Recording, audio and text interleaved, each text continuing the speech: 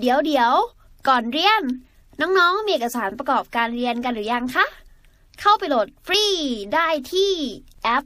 Nestle School ทั้งใน iOS และ Android เลย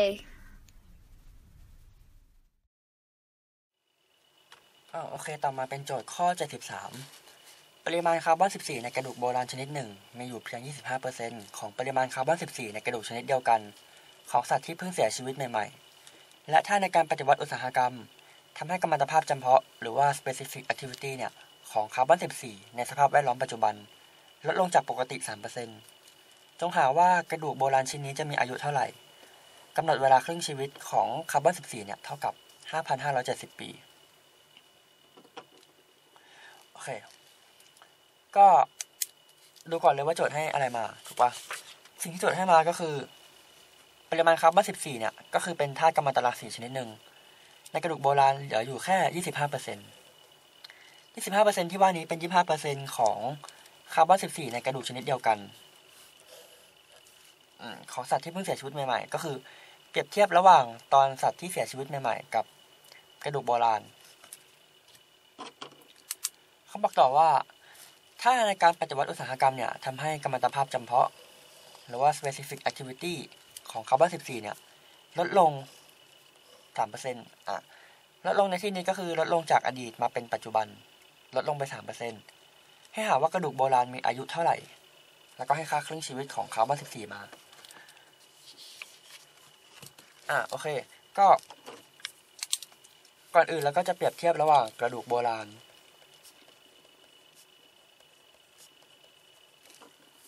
กับกับ อสัตว์ที่เพิ่งเสียชีวิตใหม่ๆเนี่ยพี่จะเขียนว่าปัจจุบันแล้วกัน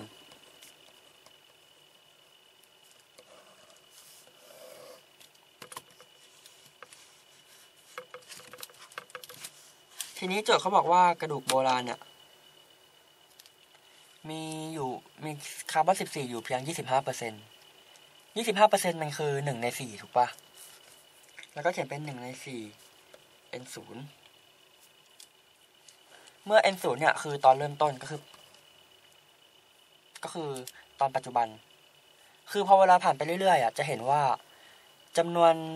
อ่าปริมาณคาร์บอน14เนี่ยมันก็จะน้อยลงน้อยลงไปเรื่อยๆใช่ป่ะเพราะว่ามันเป็นธาตุที่สามารถสลายตัวได้อ่าก็คือยิ่งแก่อะธาตุของมันก็จะยิ่งน้อยลง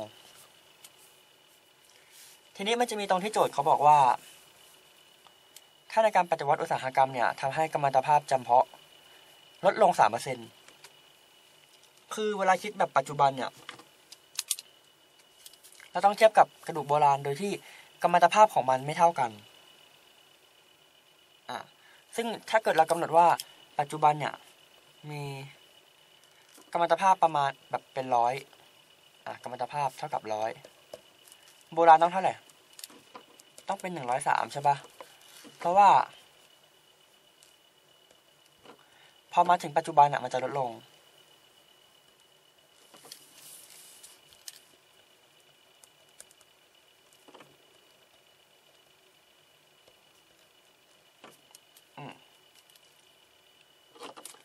อได้งี้เสร็จเราจะเทียบไงดี ถ้าเกิดเราเทียบว่าปัจจุบันอ่าปัจจุบัน มีกัมมันกัมมันตภาพเนี่ยเท่ากับหนึ่งร้อยในอดีตก็ต้องมากกว่าใช่ไหม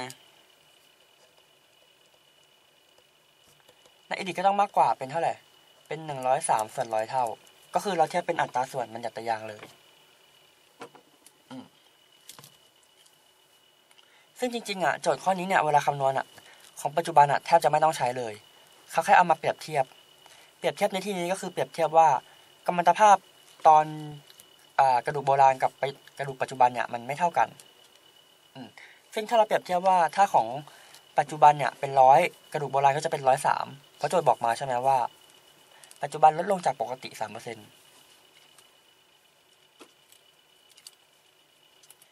ทีนี้ก็มาถึงช่วงคำนวณละ อ่าเวลาคำนวณสูตรที่ใช้เราจะใช้ n เท่ากับ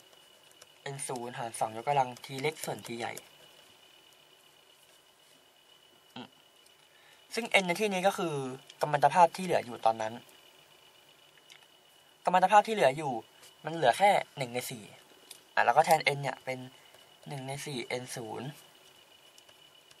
ทีนี้ n ศูนย์ต้องแทน n ศูนย์ธรรมดาหรือว่า n ศูนย์ยังไงดี เราจะเห็นว่า ในอดีตเนี่ยมันมีค่ามากกว่าเป็นหนึ่งร้อยสามส่วนร้อยเท่า แล้วก็ต้องแทน n ศูนย์เป็นหนึ่งร้อยสามส่วนร้อยแล้วก็คูณ n ศูนย์อันนี้ต้องตรงนี้เน้นย้ำเลยนะ เพราะว่าเราต้องเราต้องเน้นว่าในอดีตเนี่ย มันมีค่ากัมมันตภาพที่มากกว่า แล้วก็หารด้วยสองยกกำลังทีเล็กส่วนทีใหญ่ ทีเล็กอันนี้เป็นเวลาใช่ไหมก็คือเวลาที่เราต้องการหา แล้วก็ทีใหญ่ ที่ใหญ่อันเนี้ยเป็นค่าครึ่งชีวิต ซึ่งค่าครึ่งชีวิตเขาให้มาว่า มันเท่ากับห้าพันห้าร้อยเจ็ดสิบอ่าแล้วก็แทนที่ใหญ่เป็นห้าพันห้าร้อยเจ็ดสิบ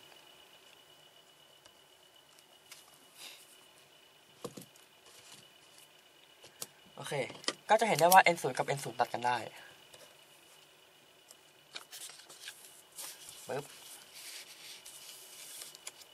คิดเลขต่อเลย ย้ายสองยกกำลัง t ส่วนห้าพันห้าร้อยเจ็ดสิบไป แล้วก็ย้ายสี่ขึ้นมาคูณ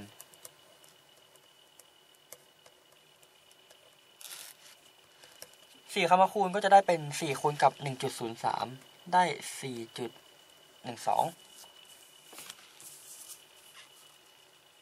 จะเห็นได้ว่า อะ อันนี้เป็นเทคนิคทางคณิตศาสตร์แล้วนะ จะเห็นได้ว่า สังเกตดูดีๆว่า 4.12 เนี่ย มันมากกว่า 4 ใช่ไหม ซึ่ง 4 มันเท่ากับ 2กำลัง2อะแต่ว่าไอ้ก้อน 4.12 เนี่ย มันคือ 2 ยกกำลัง t ส่วน 5570 ก็จะมากกว่า 2กำลัง2ด้วย ในเมื่อเราเปรียบเทียบได้ยาขนาดนี้แล้ว เราเห็นว่าเลขฐานเนี่ยมันเท่ากัน เลขฐานเท่ากันแล้วก็ดูเลขยกกำลัง ถ้าก้อนซ้ายมากกว่าก้อนขวา แสดงว่าเลขยกกำลังของก้อนซ้าย รือว่า t ส่วน5570 เนี่ย ก็จะมากกว่าก้อนขวาด้วยย้ายข้างไปคูณกลายเป็น t มากกว่า 11,140 หน่วยเป็นอะไร หน่วยเป็นปี เพราะว่าเราให้ t ใหญ่หรือว่าครึ่งชีวิตเนี่ยเป็นปี t เล็กก็ต้องเป็นปีด้วย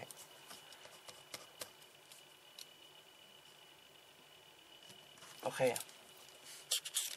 ก็หลักๆก็จะประมาณนี้ แล้วก็มาเช็คช้อยดู ก็ต้องตอบช้อยที่สี่ใช่ไหมต้องตอบว่ามากกว่าหนึ่งหมื่นหนึ่งพันสี่ร้อยปีอะก็ข้อนี้แบบใครยังงงๆ หรือว่าไม่เข้าใจลองกลับไปฟังใหม่ก็ได้นะ หรือว่าลอกไม่ทันก็ลองกดพอสแล้วก็ลอกก่อน เดี๋ยวพี่จะสรุปให้อีกรอบหนึ่งโอเคก็เราจะเริ่มจากที่ว่า ข้อนี้เขาให้มาใช่ไหมว่ากระดูกโบราณเนี่ยมีคาร์บอน14 อยู่เพียง 25% ของเทียบกับสัตว์ในกระดูกชนิดเดียวกันที่เพิ่งเสียชีวิตใหม่ๆ คือสัตว์ในกระดูกชนิดเดียวกันที่เพิ่งเสียชีวิตใหม่ๆเนี่ยมันก็จะแบบมีเต็มร้อยเลยใช่ปะอ่า ก็คือมีมีแบบเต็มเท่าเลย ทีนี้ถ้าเกิดมันเหลือ25%เปอร์เซ็นเนี่ย25%มันคือหนึ่งในสี่เราอยากหาว่าไอกระดูกโบราณเนี่ยมันมีอายุเท่าไหร่ละแต่ทีนี้โจทย์เขาบอกมาอีกอย่างหนึ่งก็คือตอนที่เขาบอกว่า ถ้าการปฏิวัติอุตสาหกรรมเนี่ยทำให้กัมมันตภาพจำเพาะ หรือว่า specific activity เนี่ยของคาร์บอน14 ในสภาพแวดล้อมปัจจุบันลดลง 3%ก็คือถ้าเกิดว่าปัจจุบันเนี่ยเป็น 100 กระดูกโบราณก็ต้องเป็น 103 ถูกปะเพราะว่ามันลดลงมาปัจจุบัน เราสามารถเทียบบัญญัติตารางได้ไอ้ร้อยกับร้อยสามเนี่ยมันแค่เทียบแบบอัตราส่วน ซึ่งถ้าเกิด ถ้าเกิดเรามองว่า กัมมันตภาพปัจจุบันเป็น n ศูนย์เนี่ย แสดงว่ากระดูกโบราณอะจะต้องมีกัมมันตภาพมากกว่าเป็นหนึ่งร้อยสามส่วนหนึ่งร้อยเท่าใช่ไหมก็แทนตอนเริ่มต้นเป็นหนึ่งร้อยสามส่วนหนึ่งร้อย n ศูนย์อ่าส่วน n เนี่ย เราแทนเป็นหนึ่งส่วนสี่ n ศูนย์เพราะว่ามันเหลือยี่ห้าเปอร์เซ็นต์แทนเสร็จแทนค่าสองก็กำลัง t เล็กก็คือเวลาที่ต้องการหา แล้วก็หารด้วย t ใหญ่ก็คือครึ่งชีวิต คิดเลขออกมา แล้วก็ใช้เทคนิคทางคณิตศาสตร์นิดหน่อย ตรงนี้สำคัญเลย เพราะว่าเราจะเห็นว่าไอซีจุดหนึ่งสองเนี่ยมันมันไม่ใช่สองยกกำลังอะไรที่แบบเป็นจำนวนเต็มใช่ไหมเราก็มองว่าไอซีจุดหนึ่งสองเนี่ยมันมากกว่าสองกำลังสองนะ ซึ่งสี่จุดหนึ่งสองมันก็คือสองยกกำลังทีส่วนห้าพันห้าร้อยเจ็ดสิบเปรียบเทียบได้เลยว่า t ส่วน5570เจ็ดศูนย์เนี่ยมันมากกว่า2ยาข้างไปก็กลายเป็นเวลาของกระดูกโบราณชนิดนี้เนี่ย จะมีอายุมากกว่า 11,140 ปี เรียนจบแล้ว อย่าลืม เข้าไปฝึกทำข้อสอบแบบจับเวลา ในแอป Nestle School กันด้วยนะจ๊ะ ถ้าน้องๆมีคำถามสงสัย ไม่เข้าใจตรงไหน ถามว่าในแอปได้เลย แล้วพี่ๆจะรีบเข้าไปตอบให้นะคะ โห ไอติมวินจีต้องชิมซะแล้ว